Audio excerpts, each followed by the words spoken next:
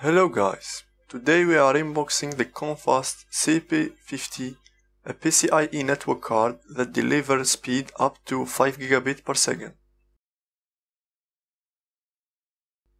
You can find the product link in the description below. Now let's go to the unboxing of the product. Here is a closer look at the packaging of the Comfast CP50. On the front, we can see the main highlight of this PCIe 5 gigabit network card. And on the back, there is some additional information about the product. It's mostly written in Chinese. Now, let's open the box.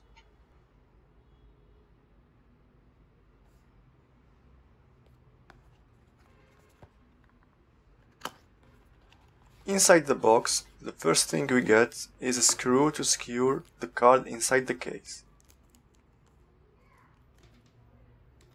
A small bracket for compact PC or a mini PC build. Next we have the network card itself.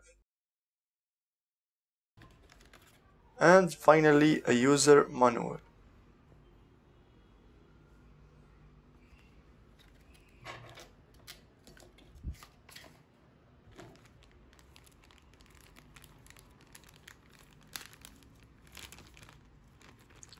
This is a PCIe Ethernet card with Realtek RTL8126VB controller, supporting up to 5 gigabit per second.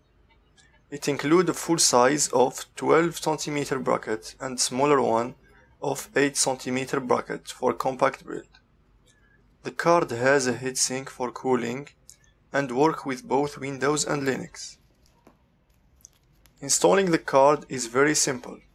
Just place it into the PCIe slot and secure it in the case with the screw so it stay in place.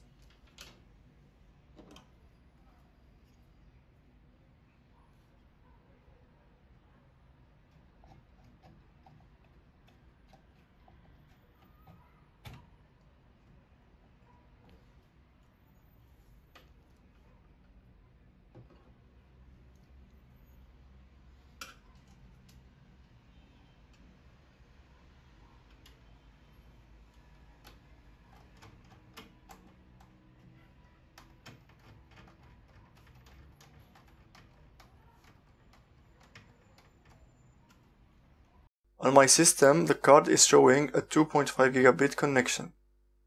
That's because the other end of the cable is connected to a switch that only support 2.5 gigabit per second. With a full 5 gigabit switch, the card will reach its maximum speed. This network card is definitely a great deal. I got it for just $10 from AliExpress and for the price, it's hard to beat. If you're interested, you can find the purchase link in the description below. See you in the next video.